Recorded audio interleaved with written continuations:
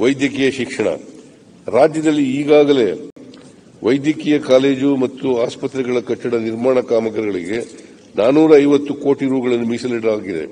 ಪ್ರಸಕ್ತ ಸಾಲಿನಲ್ಲಿ ಗದಗ, ಕೊಪ್ಪಳ, ಕಾರವಾರ ಮತ್ತು ಕೊಡಗು ಜಿಲ್ಲೆಗಳಲ್ಲಿ ನಾನೂರ ಐವತ್ತು ಬೆಡ್ ಆಸ್ಪತ್ರೆಗಳ ನಿರ್ಮಾಣ ಕಾರ್ಯವನ್ನು ಆದ್ಯತೆ ಮೇಲೆ ಪೂರ್ಣಗೊಳಿಸಲಾಗುವುದು. ರಾಜೀವ್ ಗಾಂಧಿ ಆರೋಗ್ಯ ವಿಜ್ಞಾನ ವಿಶ್ವವಿದ್ಯಾಲಯದ ವತಿಯಿಂದ ರಾಮನಗರ ಜಿಲ್ಲೆಯ ಕನಕಪುರ ತಾಲೂಕಿನಲ್ಲಿ ಒಂದು ಹೊಸ ವೈದ್ಯಕೀಯ ಕಾಲೇಜನ್ನು ಸ್ಥಾಪಿಸಲಾಗುವುದು. ಮೈಸೂರು, ಕಲಬುರಗಿ ಮತ್ತು ಬೆಳಗಾವಿ ಜಿಲ್ಲೆಗಳಲ್ಲಿ ಸೂಪರ್ ಸ್ಪೆಷಾಲಿಟಿ ಆಸ್ಪತ್ರೆಗಳ ಕಾರ್ಯಾರಂಭ ಮತ್ತು ಸುಟ್ಟ ಗಾಯಗಳ ಘಟಕ ಸ್ಥಾಪನೆಗೆ ನೂರ ಐವತ್ತೈದು ಕೋಟಿ ರೂಗಳನ್ನು ಒದಗಿಸಲಾಗುವುದು. ನಿಮಾನ್ ಸಂಸ್ಥೆಯ ಆವರಣದಲ್ಲಿ ನೂರ ನಲವತ್ತಾರು ಕೋಟಿ ರೂಗಳ ವೆಚ್ಚದಲ್ಲಿ ಅಂಗಾಂಗ ಜೋಡಣೆಗೆ ಮೀಸಲಾದ ದೇಶದ ಪ್ರಥಮ ಸಾರ್ವಜನಿಕ ಆಸ್ಪತ್ರೆಯನ್ನು ಸ್ಥಾಪಿಸಲಾಗುವುದು.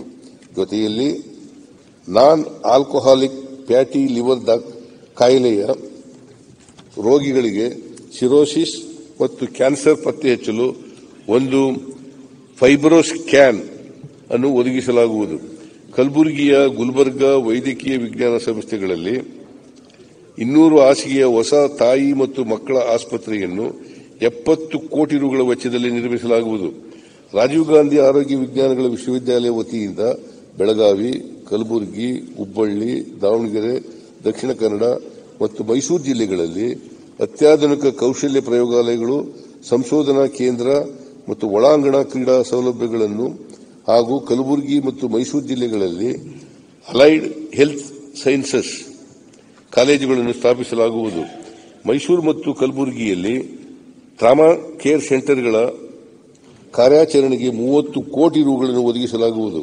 ರಾಜ್ಯದ ಸಾವಿರಾರು ಬಡ ಜನರಿಗೆ ಕೈಗೆಟುಕುವ ದರದಲ್ಲಿ ಕ್ಯಾನ್ಸರ್ ರೋಗಕ್ಕೆ ಚಿಕಿತ್ಸೆ ನೀಡುವ ಕಿದ್ವಾಯಿ ಸ್ಮಾರಕ ಗ್ರಂಥಿ ಸಂಸ್ಥೆಯು ಸುವರ್ಣ ಮಹೋತ್ಸವ ವಸ್ತಿನಲ್ಲಿದೆ ಈ ಸಂದರ್ಭದಲ್ಲಿ ಆಸ್ಪತ್ರೆಯ ಕಲಬುರಗಿ ಮತ್ತು ಮೈಸೂರಿನಲ್ಲಿರುವ ಪ್ರಾದೇಶಿಕ ಘಟಕಗಳಲ್ಲಿ ಸೌಲಭ್ಯಗಳ ಸುಧಾರಣೆಗೆ ಇಪ್ಪತ್ತು ಕೋಟಿ ರು ಒದಗಿಸಲಾಗುವುದು. ಚಿತ್ರದುರ್ಗದ ವೈದ್ಯಕೀಯ ಕಾಲೇಜು ಪ್ರಾರಂಭಿಸಲು ಸಿದ್ಧತೆಗಳು ಪೂರ್ಣಗೊಂಡಿದ್ದು, ಶೀಘ್ರದಲ್ಲಿಯೇ ವಿದ್ಯಾರ್ಥಿಗಳ ದಾಖಲಾತಿ ಪ್ರಕ್ರಿಯೆ ಪ್ರಾರಂಭವಾಗಲಿದೆ.